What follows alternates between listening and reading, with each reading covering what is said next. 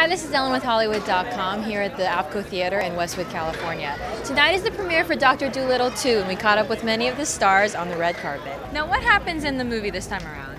This time around, he's busy saving, trying to save the forest, but then he's at home trying to deal with his teenage daughter. so it's kind of difficult for him. It just goes back and forth. That's why it's good for like regular, like teenagers or kids or adults because it goes back and forth from doing different things. Like some kids might not understand some parts, but the parts that they do understand will be hilarious.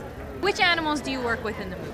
I work with the monkey, I work with um, a raccoon, and I work with a bear. Whoa. Now, Whoa. wow. Wow. Real Yeah. one? Yeah, it was scary. Which one was the biggest diva?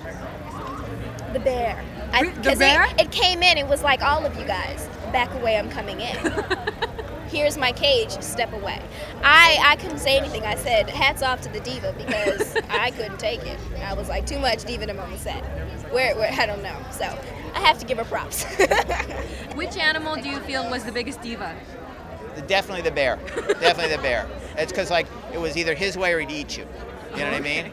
And you couldn't bring food on the set. There's always this thing: don't bring food on the set. The bear may eat you. So you know what I mean? You like had to always leave your drink at the door and all that stuff because you know it was always hungry. That bear. I don't understand it, but he's always hungry. Bear's gonna get his own movie next time, huh? yeah, that was Yes, the bear will probably get his own movie next. He definitely has a TV series coming because he's got an agent. Did you work with the bear? Uh, just one day. Okay, because I'm hearing all these stories about how the bear is the big diva and all this. Oh, he's unbelievable. He wants his own trailer. He wants his own water bowl.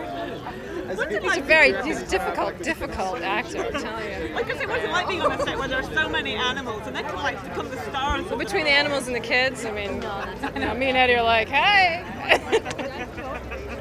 Really? You feel like that? no, I'm not, he's Eddie Murphy, so I'm sure he's fine. What's your secret? Why does why does he have this endearing um, commitment from audiences who just come out just to see Eddie? I don't know. It, it, I, I don't know what you'd call it. It's just that thing that some people have, you know, and he's got it. Is it weird when someone tells you you have the perfect voice to be a lizard? You know what? It is weird. It is weird. I well, especially a Mexican lizard. You know, so I, I guess I guess if I was a German lizard, I wouldn't be able to do it. So so good, good, good thing for my ethnicity this time. You know.